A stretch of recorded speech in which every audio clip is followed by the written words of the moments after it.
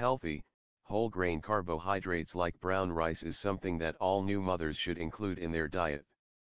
Brown rice will help keep your energy level up and your blood sugar level consistent. Plus, it has more fiber and other essential nutrients than white rice. It will also help increase breast milk supply and quality.